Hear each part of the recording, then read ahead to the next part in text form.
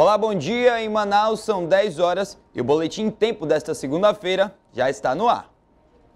A gente começa essa edição do Boletim em Tempo falando de eleição. Na capital, os eleitores chegaram cedo nos locais de votação. Alguns já esperavam até do lado de fora das sessões.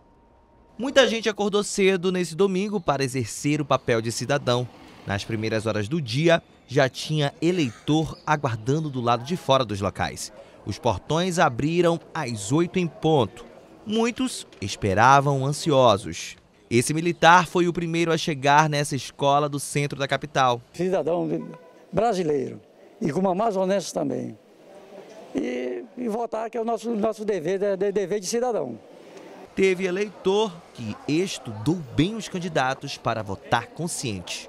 Discutir as propostas, né? se, eh, se informar das propostas, aí sim para a decisão. Votar consciente. Consciente. Estudando todos os eleitores, todos os candidatos e ontem a gente entrou em consenso e, e já fez a colinha, já está tudo anotadinho, já está tudo certinho já para as eleições. Esse ano, o eleitor vota em seis candidatos, o que faz com que a votação demore um pouco mais. Por isso, as filas se formaram.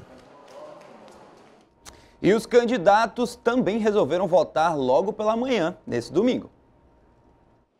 O governador e candidato à reeleição pelo PDT, Amazonino Mendes, chegou ao local de votação às 9 e 05 da manhã, acompanhado da vice, Rebeca Garcia. Na sessão, Amazonino votou rapidamente, mas teve que voltar à urna porque esqueceu de confirmar o último voto. Na saída, ele concedeu entrevista coletiva e falou sobre a expectativa nesse pleito. E a gente cumpre a nossa obrigação com um coração cheio de esperança, né? São os projetos, os pensamentos que a gente tem, são todos positivos. O candidato Wilson Lima, do PSC, chegou a esta escola no Aleixo, na zona centro-sul de Manaus, 20 minutos depois do horário previsto. Estava acompanhado de alguns correligionários e apoiadores, entre eles o vice na chapa, defensor público Carlos Almeida, e o candidato ao Senado, Luiz Castro, da Rede. Ele votou rápido e, na saída, falou das necessidades da população e da importância do voto nesta eleição fizemos nessa campanha o que a gente sempre vinha fazendo, caminhando, conversando com as pessoas, entendendo a dificuldade que o cidadão enfrenta no dia a dia. A decisão está nas mãos de cada cidadão de bem desse Estado. O candidato pelo PSB, Davi Almeida, morador do Morro da Liberdade, foi andando até a Escola Estadual Antônio Lucena, no bairro da Betânia, para votar. Ele estava acompanhado do candidato a vice Chico Preto, da esposa, da filha e de apoiadores. Na sessão foi rápido na votação e se mostrou confiante.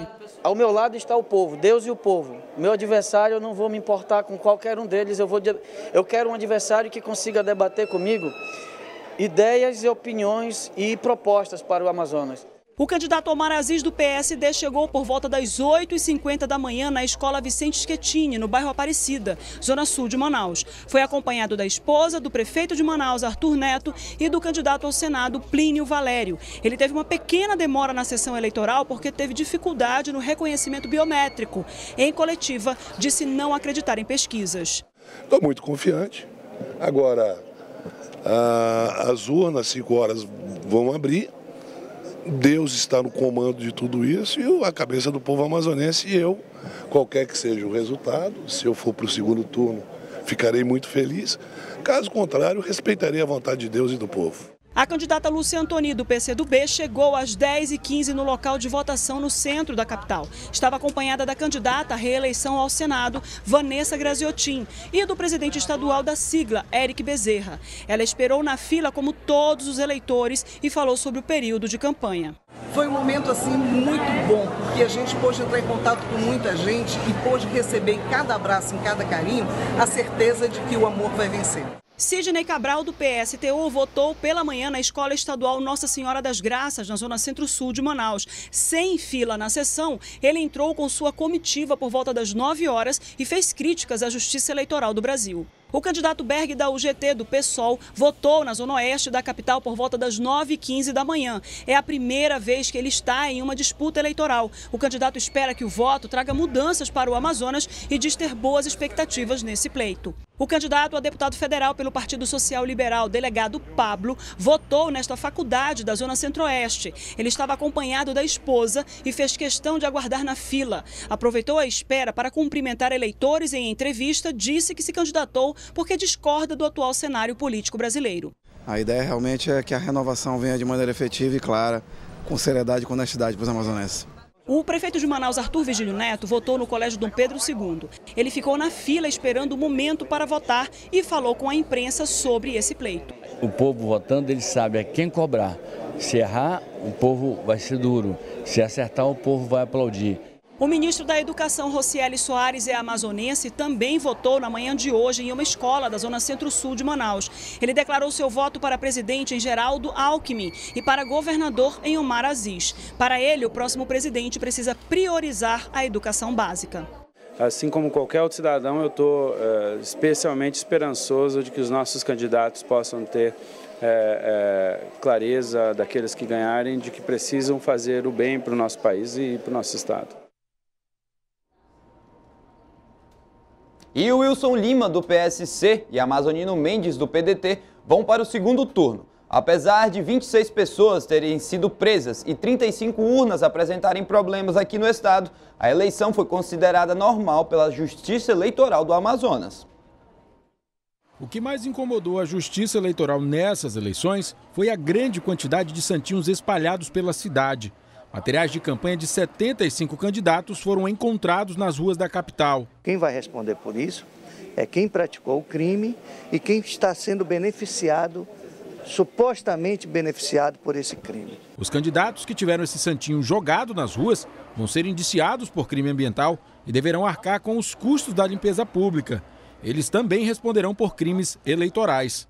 Derramamento de santinhos é uma infração que tem uma dúplice repercussão.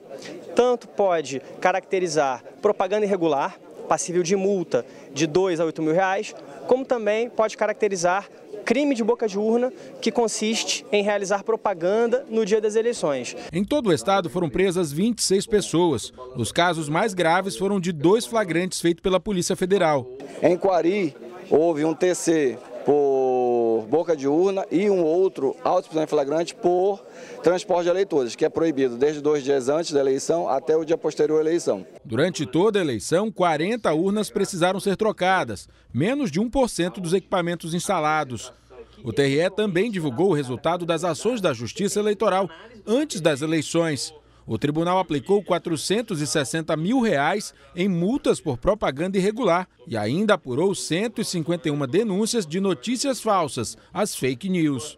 Oficialmente, a campanha eleitoral de segundo turno começa nesta segunda-feira, mas os dois candidatos só vão poder levar suas propostas à população no rádio e na televisão a partir do próximo dia 12, sexta-feira, feriado nacional.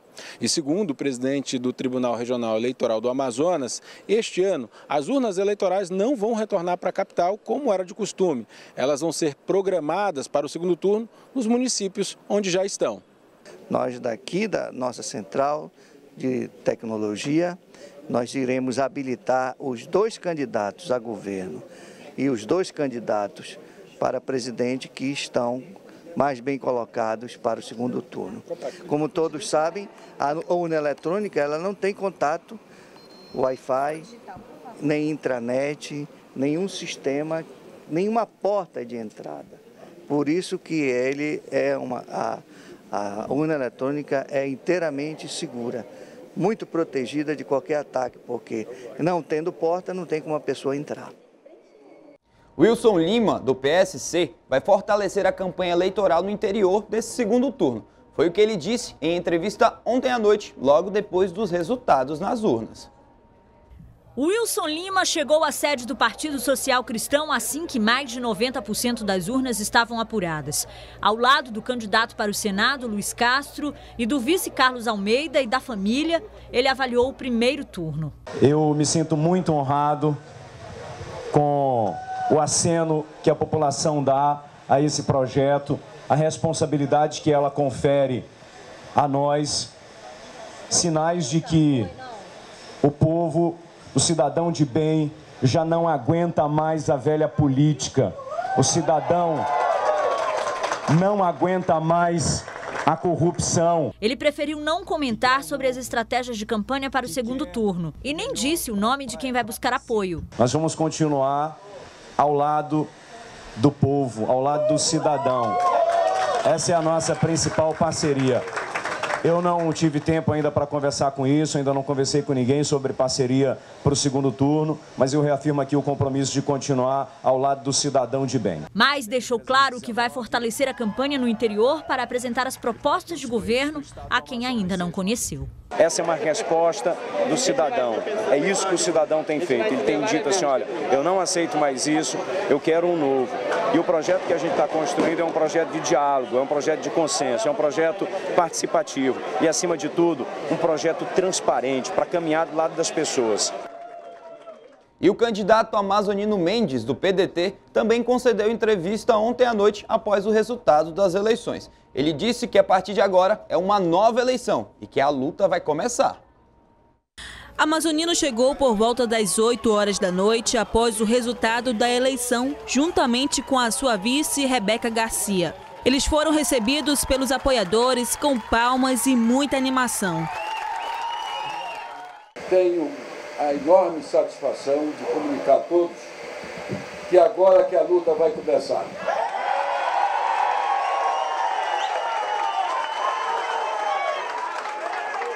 Agora nós temos o dever e a obrigação para irmos para o campo das ideias, das propostas, do concreto, não da fala vazia. E uma oportunidade de agradecer a todos aqueles que estiveram conosco nessa caminhada, que dividiram conosco cada momento, cada espaço, cada lugar.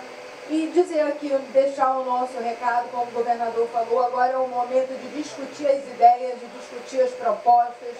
O governador Amazonino Mendes tem muita experiência e muita ideia para colocar em prática. O candidato agora vai se preparar para o segundo turno, que vai acontecer no dia 28 de outubro. Agora você vai conferir os senadores, deputados estaduais e deputados federais eleitos nesse pleito. No Senado, Plínio Valério, do PSDB, foi eleito com mais de 830 mil votos. Eduardo Braga, do MDB, garantiu a segunda vaga e se reelegeu com pouco mais de 600 mil votos. Oito deputados federais foram eleitos. José Ricardo, do PT, foi o mais votado, seguido pelo delegado Pablo, do PSL, Atila Lins, do PP, Silas Câmara e capitão Alberto Neto, do PRB, Marcelo Ramos, do PR, Sidney Leite, do PSD e Bosco Saraiva, do Solidariedade. Já na Assembleia Legislativa foram 24 vagas preenchidas com os deputados estaduais. São eles: doutora Maiara, do PP, que foi a mais votada, seguida do Roberto Cidade, do PV, Dermilson Chagas, do PP, delegado Pericles, do PSL, Ricardo Nicolau, do PSD, Berlamino Lins, do PP, Augusto Ferraz, do DEM, Wilker Barreto, do PHS, Saulo Viana, do PPS, Cabo Maciel, do PR, Josué Neto, do PSD, Joana Dark, do PR, João Luiz, do PRB, Serafim Correia, do PSB, Alessandra Campelo, do MDB, Professor Sinésio, do PT, Adjunto Afonso, do PDT, Dr. Gomes, do PRP, Fausto Júnior, do PV, Professora Terezinha Ruiz, do PSDB, Felipe Souza, do PSL, Carlinhos Bessa, do PV, Álvaro Campelo, do PP e Tiago Falcão, do Podemos. No primeiro turno, 1.957.418 eleitores aqui no Amazonas foram às urnas, sendo que 1.768.768 votos foram válidos. 39.614 foram votos em branco e 149.036 votos foram nulos.